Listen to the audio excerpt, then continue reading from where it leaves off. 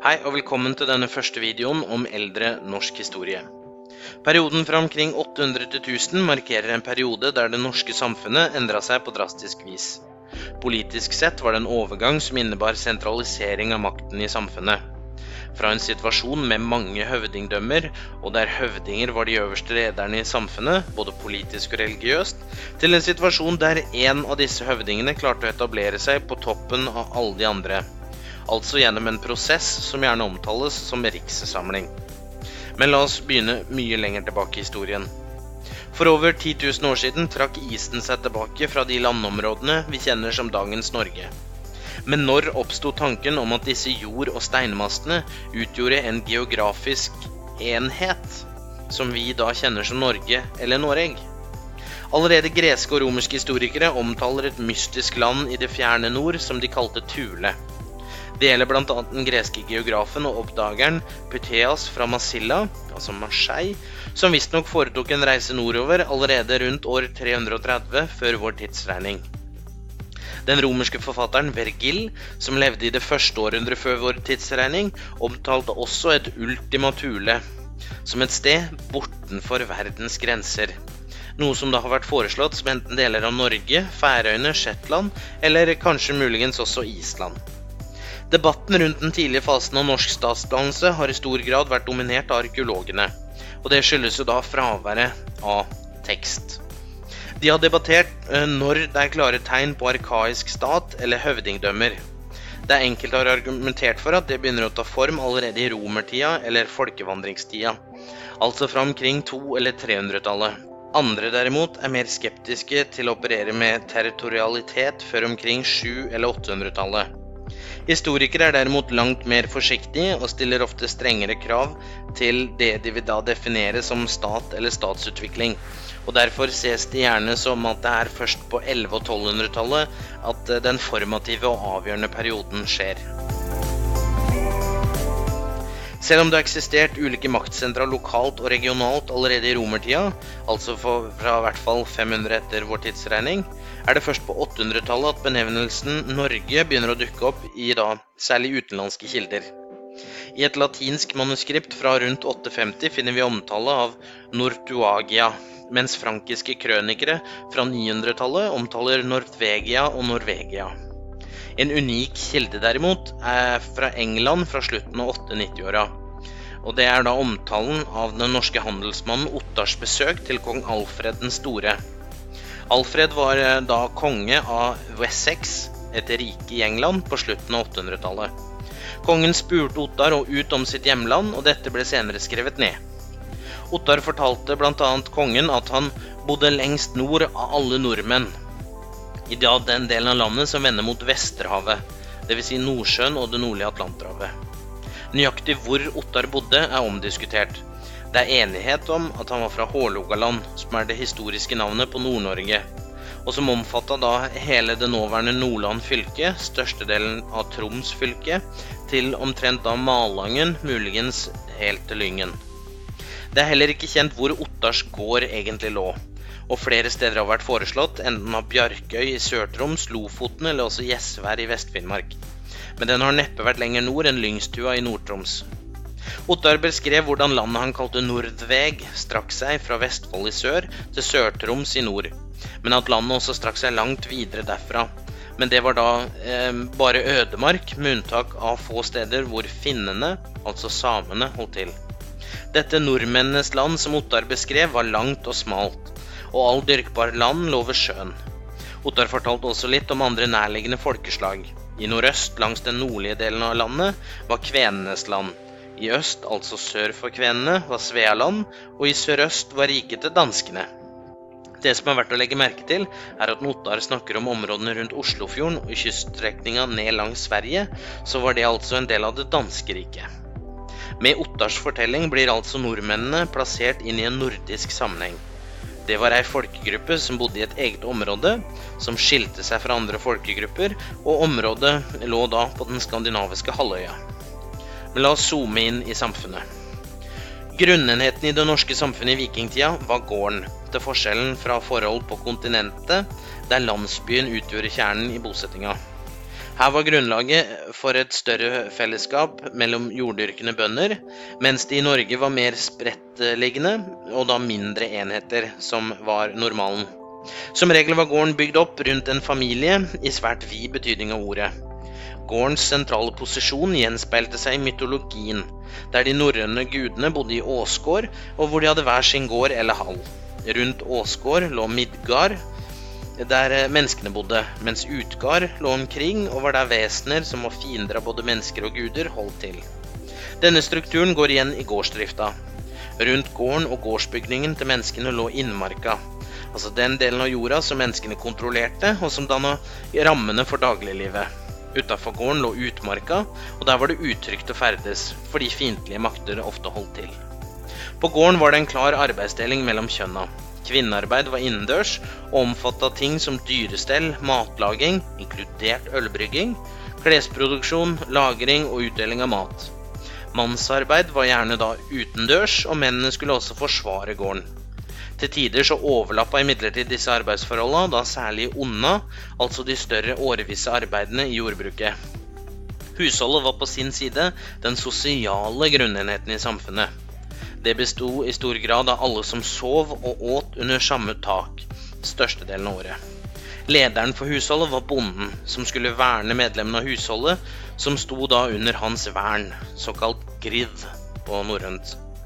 Det var imidlertid stor forskjell mellom fattig og rik, særlig mellom trell og fri mann. På bunnen av samfunnet var trellen, som da var en ufri slave. Nøyaktig når institusjonen med trellehold oppsto, er uvisst, men trellen spilte en viktig rolle i jordbruket, og utgjorde antageligvis en prosentandel på mellom 10 og 20% av befolkninga. Overgangen til kristendommen gjorde trellholdet mer problematisk, og det var derfor en nedgang på 1100- og 1200-tallet, der praksisen antagelig også døde ut. Bonden var som allerede nevnt lederen for husholdet, men det kunne også være stor forskjell mellom bønder fra storbonden til leilendingen, som da leide gården han dreiv. På toppen av samfunnet var høvdingen, som var da eh, de verdslige og religiøse lederne i samfunnet, og som skilte seg fra bondestanden med sin makt og rikdom. Nøyaktig hvor mange høvdingdømmer som fantes i Norge på 800-tallet, vet vi ikke. Trolig var det omkring 20 større høvdingseter, og kanskje mellom da 50 og 60 mindre i første halvdel av 800-tallet. Det viktigste fundamentet i økonomien til høvdingene var jordgods, hovedgarn og leilendingbruk. Disse jordgodsene ble i stor grad konfiskert av den ekspanderende kongemakten. Arkeologiske funn fra gravsteder gir et innblikk i den materielle velstanden høvdingseter ofte hadde. En kilde til denne velstanden var plyndringsferden til utlandet, de såkalte vikingferdene. Et sentralt aspekt ved en høvdings maktgrunnlag var forventningen hans støttespillere hadde til at han skulle gi dem vern når de trengte det, Men støttespillerne på sin side forplikta seg til å støtte høvdingen når han trengte det. Konflikt og krig var således en forutsetning for det sosiale hierarkiet. For å skaffe seg tilhengere og bygge opp et maktgrunnlag ga høvdinger gaver. Den som ville etablere et maktgrunnlag, ga gaver til dem som ikke kunne eller ville gi motgave. Mottakeren måtte da tjene på et, eller annet annet vis, og ble moralsk avhengig av giveren helt til de hadde betalt tilbake i form av da ytelser, gjerne da politisk støtte. Ei gave ble sjelden avvist, noe som ville vært en fornærmelse. Plikta til å ta imot var dermed like stor som plikta til å gi og gjengjelde. I dette prestisjespillet hadde ære en viktig rolle. Ære var en grunnleggende etisk verdi i samfunnet og avgjorde den sosiale statusen til enkeltmennesket. For å oppnå ære måtte en vise seg fram, for eksempel i, vikingferd eller idrettskonkurranser, eller ved å forsvare sine rettigheter lokalt. Utveksling av gaver skapte vennskap, men denne formen for vennskap må ikke forveksles med hva vi i dag vil si om, vennskap, der det emosjonelle aspektet eh, er mer framtredende. Det mest framtredende ved vikingtidas vennskap uh, var uh, dermed denne gjensidigheten. Snarere må, si, uh, må vennskap da i vikingtida ses på som en forpliktende kontrakt mellom to parter. Dersom det ikke var mellom to likeverdige parter, kan vi gjerne omtale det som et patron-klient-forhold, slik vi finner igjen i andre samfunn og kulturer, sånn som f.eks. Romerriket. Tallet på venner avgjorde i stor grad den politiske makten til en høvding. Det var ikke for ingenting at konger ble omtalt som gullets fiende, nettopp fordi det var en forventning om at de skulle dele ut slikt til sine støttespillere. Et annet aspekt for å opprettholde vennskap var gjestebudet. Et gjengs ordtak er at de som spiser sammen, hører sammen.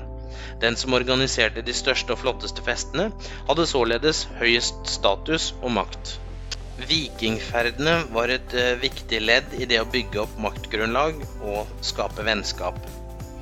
Inntrykket i samtidig utenlandske kilder er at vikingene var blodtørstige hedninger som brant og herja i kristne områder. Men forskning har modifisert dette bildet noe, og understreket at vikingene også var handelsmenn, håndverkere og landdomsmenn.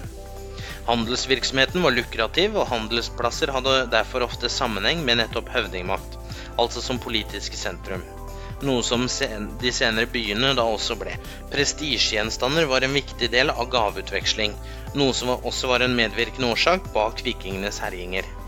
Som angrepet på Lindisfarene vitner om, ble organiserte plyndringstokt gjerne retta mot enkle mål, enten da klostre eller dårlig beskytta bosettinger. Her var det vikingskipet som var det avgjørende teknologiske fortrinnet. Hurtighet var et nøkkelord. På 800-tallet omfatta de største vikinghærene neppe mer enn 1000 mann mens det vanligste var en kampstyrke på mellom 300 og 400. Målet var å slå til før forsvarerne rakk å organisere seg. I tilfeller der vikingene måtte møtte godt organiserte forsvar, endte det ofte med nederlag. Vikingferden var til å begynne med sesongbaserte, men etter hvert begynte store vikingherrer å overvintre i f.eks. England, noe som ble begynnelsen på mer permanente erobringer. Lignende skjedde det også i det nordlige Frankrike, der vikinghøvdingen Gangerolf ble gitt hertugdømmet Normandie av den franske kongen i 911, nettopp for å forsvare riket mot andre vikinger. Et annet fenomen med vikingtida er nettopp hvordan skandinaver etablerte bosettinger over et storstilt område i Nord-Atlanteren. Norske, eller norrøne bosettinger dukka opp på Shetland, Orkenøyene, Færøyene, Irland, Island, Grønland og etter hvert så langt vest som i Nord-Amerika, og det da sagnomsuste Vinland. Dansk ekspansjon var retta mer mot England, men svenskene dro østover og etablerte det første rusriket, som vi senere kjenner som Russland. Den rikdommen som høvdinger og andre la seg opp gjennom vikingtokt i utlandet, kunne de bruke i den hjemlige maktkampen. Det var som allerede nevnt konkurranselignende forhold mellom høvdinger om å kunne gi de beste gavene og holde de flotteste festene. Inntektsbringende vikingtokt kunne således vippe maktforhold i deres favør. Den norske rikssamlingen ses ofte ha tatt til med erobringene til Harald Hårfagre i 860- og 870-åra, som vil da si en um, samling av ulike regioner til ett rike og en kamp for rikskongedømme. Det var imidlertid en prosess som tok flere hundre år, og som på ingen måte var fullført under Harald Hårfagre. Fra en tilstand med mange småkonger rundt omkring foregikk en rikssamling gjennom erobring og konsolidering, noe som til slutt da resulterte i et overordna rikskongedømme. De tidligste kongene, slik som Harald Hårfagre, regjerte i utgangspunkt mindre regioner, slik som da Harald, som hadde et vestlandsrike. Og resten av landet holdt de gjennom allianser med andre mektige herskere, slik som enten Ladejarlen i Trøndelag og Hålogaland eller Mørejarlen.